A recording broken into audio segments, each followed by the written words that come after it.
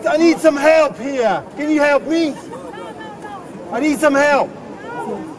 Why not? Well, you see, this is the middle of Warsaw, okay? And it's one of my favorite places because it's such a rich and amazing story that is right, you know, in, in, in this ground, really. That's why I come here. I mean, imagine this whole place, the whole place that you're looking at now, that was, it was a bunker.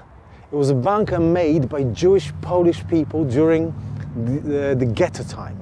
And the whole basement was reinforced, you know, big walls, concrete walls, five different exits or six different exits from this place.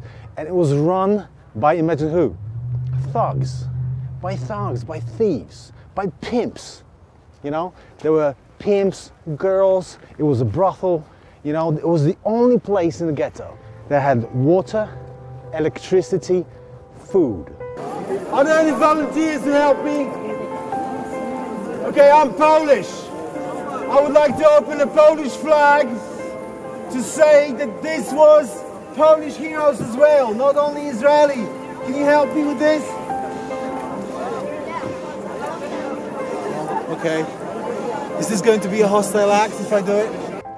The person who ran this place was a big guy. They tell stories about this person. He, huge arms, big guy. He always had a girl on his lap, you know, with no panties.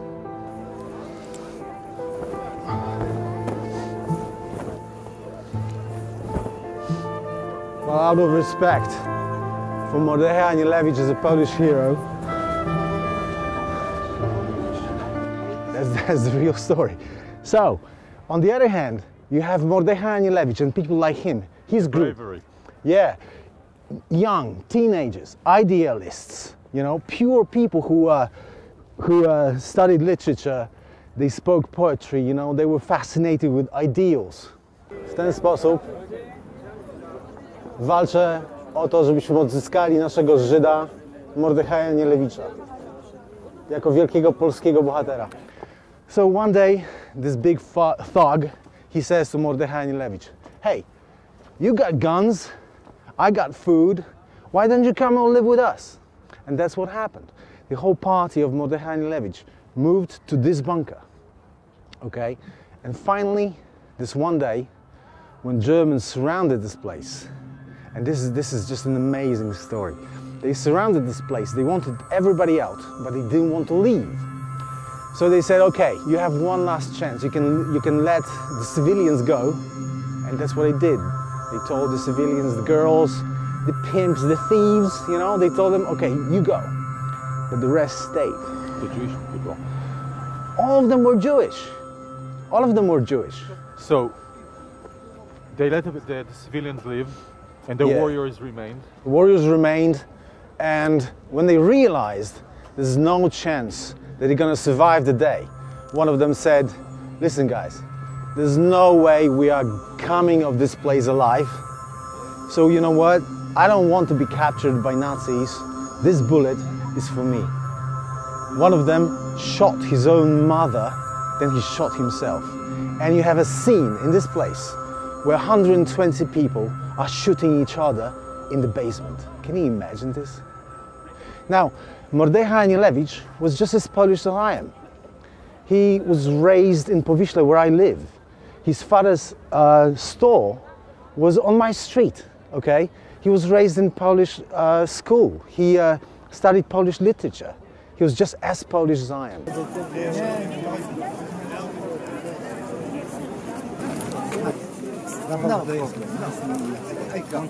No, no, no, no, stay. Yes? Of course, stay. I just wanted to explain what I'm doing here. Because uh, Mordechai Anielewicz is here. No, So he was from my neighborhood. He was Polish, like I am. Very nice. Jewish, like you are. I know uh, speak good English, but I understand. Right. So I came here yes. To pay my respects to Mordechai Anielewicz as a big Polish hero. Thank you. Jewish hero at the same. Yes. Thank you for coming. Three million were Polish as you are. Yes. Three Polish people, citizens. All of those people who that were killed here were Polish.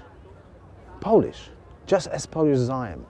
The only problem is that they were tagged Jewish, and because of this tag, they were condemned to die. Polscy patrioci mnie zajebią za to, że flaga była na ziemi.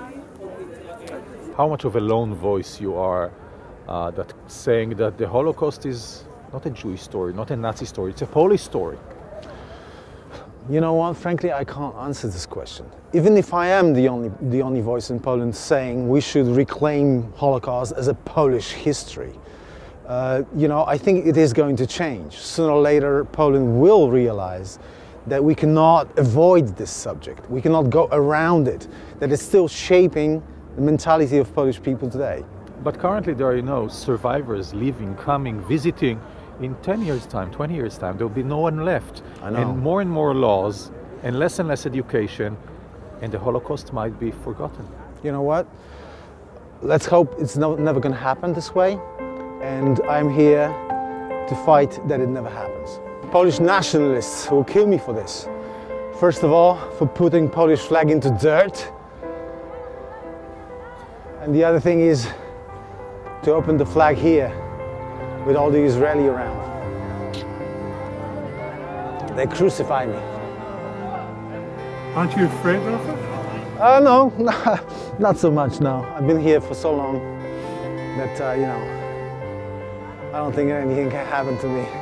So you still rely on Polish democracy? Yes. Yeah, I, I pretty much believe that this country is not going to shit, you know, and there's a lot of good people. Uh, when you go on the street, I think you meet only good people, really, you know. But then when you go to the public space, uh, it's, it's a little more difficult. Politicians. Yeah, politicians and, you know, there's extremists in Poland like in any other country, I guess. So much. Thank you. You were.